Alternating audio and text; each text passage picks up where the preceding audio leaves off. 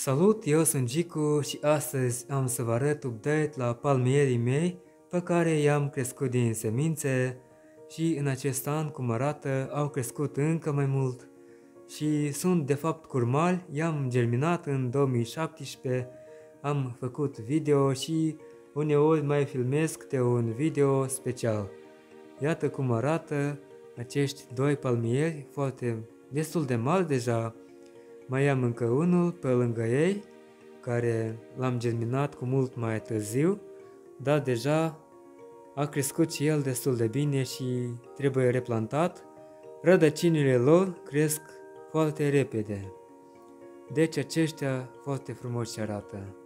Acest palmier are în jur de 70 de centimetri dacă măsurăm de la nivelul substratului, iată cât de frumos a crescut această frunză destul de aspre sunt și îmi place că arată atât de decorativ. Iarna îi țin în casă, dar curând se va încălzi, mai așteptăm vreo două luni și îi voi muta afară prin aprilie. Și al doilea palmier, super, arată frunzele la el mai dese, dar un pic e mai mic ca acesta și are în jur de 50 de centimetri Vom vedea cum se vor dezvolta. Vara dacă îi scot afară, beneficiază de mult soare, așa că vor crește încă mai înalți, dar trebuie să mai ajutăm, să mai adăugăm un strat de substrat aici și vor beneficia de îngrășământ sau chiar poate de replantat, dar un ghiveci nu cu mult mai mare pentru că nu prea îmi permite spațiu dar asta e. Și semințele mi le-a dăruit un prieten pe nume Alexandru atunci când le-am germinat în 2017, de atunci atât cât a crescut. Se putea să crească și mai repede, depinde cum ai grijă când replantezi, trebuie de replantat la timp și de avut grijă de udat la timp. Asta e, în cazul meu, așa arată acești curmali.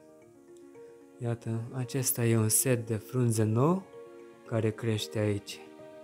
De asemenea, acești palmieri v-am arătat în plantele mele, când am făcut plantele mele în ianuarie și oricum merită video special să fac și e, lor le place să le torn multă apă, mai ales vara, cum eu ud acești palmieri, când văd că substratul e uscat la suprafață, atunci ud, Acum pot să mai las încă vreo săptămână până se va mai usca, văd că e destul de umed și voi uda.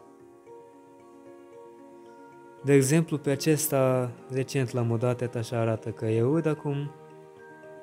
Îmi place la palmieri, are așa un fel de pânză încă aici, crește frumos. Și voi mai încerca să germinez din semințe alte varietăți de palmieri și vom vedea cum vor crește.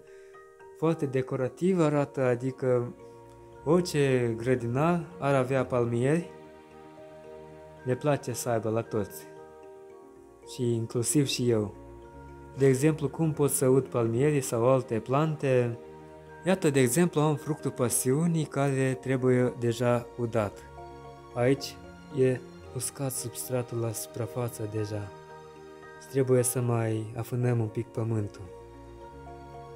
Și fructul pasiunii arată destul de bine în timpul iernii acum, cu toate că, da, e sfârșit de iarnă, dar cine știe că iarna nu a mâncat-o lupul încă. Și din spatele palmierilor am limba socrei, așa un fel de cactus, din soiul Hopuntia, văd că pornește să crească, Asta e bine, ceva e bine. Hai să vă arăt și pe acesta cum arată mai aproape un pic, iată ce frunze are, foarte frumoase. Și mai am niște plante aici, bilbegea, un palmier de apartament și arborele umbrela. Toate plantele arată bine. Și mai am un trandafir japonez, doar că are cam puțină lumină aici și sper că v-a plăcut acest update la palmerii mei Mulțumesc pentru vizionarea până la capăt. Cu voi a fost Gicu, abonați-vă la canal, apăsați pe clopoțel să vă vină notificări când postez un video nou și dacă doriți abonați-vă la canalul meu de fotografie. Ne vedem data viitoare, numai bine!